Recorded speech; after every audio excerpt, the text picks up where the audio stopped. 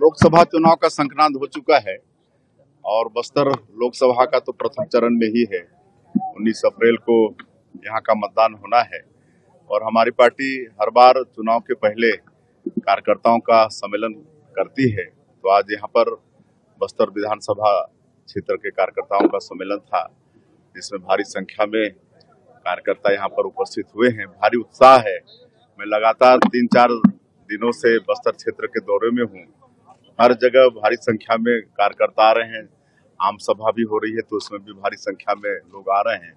और हर कार्यक्रम में तीन तीन, चार चार सौ लोग कांग्रेस छोड़ छोड़ के भारतीय जनता पार्टी में प्रवेश कर रहे हैं।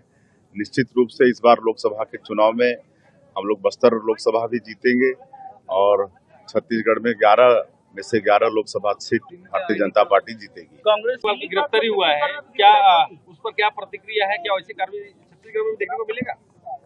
अब भाई जो जैसा करेगा वैसा तो भरेगा ही।